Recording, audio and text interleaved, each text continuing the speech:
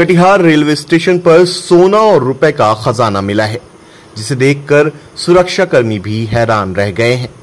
Platform number पाँच पर Arunachal express train में चेकिंग के दौरान कैश सड़सठ लाख, विदेशी करेंसी और सोने के बिस्किट बरामद किए गए हैं।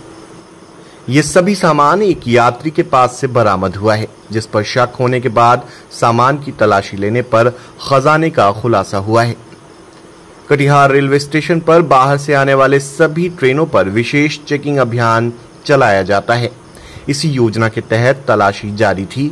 इसी दौरान यात्री पर शक हुआ और कैश, गोल्ड के साथ साथ करेंसी भी बरामद हुई है। पकड़े गए यात्री ने अपना नाम सुनील ठाकुर और घर देवरिया जिला बताया है। पूछताछ में अरुणाचल प्रदेश में ब्यूटी पार्लर चलाने का हवाला दिया है और निजी पैसे की जानकारी दी है। उधर रेल प्रशासन की ओर से आईटी विभाग को मामले की जानकारी दी गई है। अब इस मामले की उच्च स्तरीय जाँच होगी। बिहार के गया, पटना और अन्य स्टेशनों पर इस तरह के मामले लगातार सामने आते रहते हैं, जिसे इंटरनेशनल सिंडिकेट से जोड़कर देखा जाता है। कल ट्रेन जो अरुणाचल ए सी एक्सप्रेस है, वो प्लेटफॉर्म पाँच पर रुकी थी और चार संतावन में उसी में मेरी एल टीम द्वारा उसमें सघन चेकिंग की जा रही थी। और आमतौर पर हम लोग जो भी लीकर्स या इलिसिट ड्रग्स या जो भी है, उसका चेकिंग बराबर करवाते हैं। इसी क्रम में इस व्यक्ति को चेक करने पर, इसके द्वारा संदिग्ध पाए जाने पर इसको जो चेक किया गया और इसके द्वारा बताया गया कि दो ट्रॉली बैग में पैसे है। उसके बाद इसको विधिवत सत्यापन हेतु तो थाना लाया गया। थाने लाने पर जब इनका द्वारा इस पूछा गया तो इनके बयान में काफ़ी विरोधाभास हुआ और हर बार बयान इनका चेंजिंग रहा।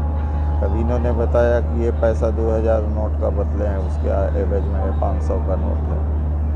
और अमाउंट भी जो बताया जा रहा था, वो भी वेरिएबल आ रहा था, कभी 60 कभी पैंसठ, कभी 70 तो इनको लाया गया और विधिवत जब सत्यापन करने पर पाया गया कि इनका नाम सुनील ठाकुर है और हंसराज ठाकुर इनके पिता का नाम है जो मतियारा जगदीश थाना लार और ये देवरिया जिला का है। इनसे पूछताछ करने पर बताया गया कि ये इन्होंने अभी तक जो बताया है ये अरुणाचल में कभी ब्यूटी पार्लर भी चलाते हैं, कभी सब्ज़ी का भी बिज़नेस करते हैं, और इसी पैसा से, कमाए पैसा से इन्वेस्ट करते हैं। लेकिन जब इसमें तह पड़ता है, इसमें जब अथी किया गया तो कहानी कुछ और निकल के आई है। गोल्ड के बारे में इन्होंने बताया गया था, जो बैग को पूरी तरह से थॉरोली सर्च किया गया। तो उसमें लगभग तीन बिस्किट मिले हैं जो तीन सौ छियालीस ग्राम के हैं तीनों मिला के।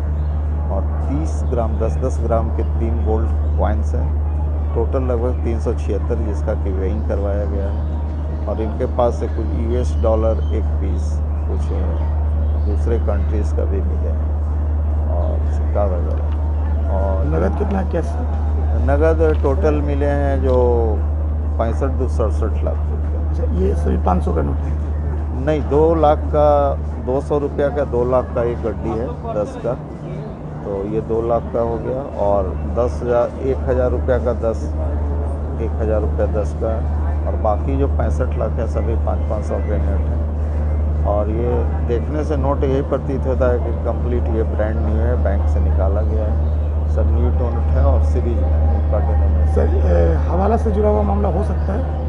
इस पर जाँच चल रही है आईटी को इसमें पूरी तरह से इन्वॉल्व किया गया। उनको सूचना भी दे दी गई है, वो लोग आज भी गए हैं। और उनके द्वारा विशेष जाँच करने पर ही बता सकते हैं कि हवाला का है कि नहीं है। अभी